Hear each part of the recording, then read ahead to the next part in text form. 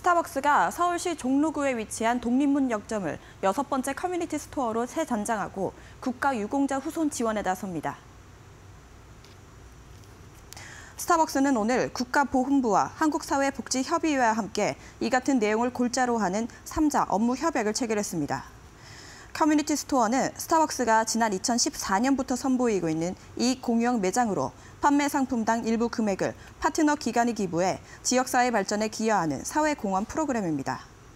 이번 협약을 바탕으로 스타벅스는 독립유공자 후손 청년들에게 앞으로 3년간 총 3억 원의 장학금을 지원하고 앞으로 커뮤니티 스토어에서 나오는 수익금을 국가유공자의 후손을 위해 사용할 계획입니다. 더불어 스타벅스는 국가보훈부와 국가유공자 후손 인재를 대상으로 스타벅스에서 바리스타로 일할 수 있는 채용 프로그램도 선보일 예정입니다.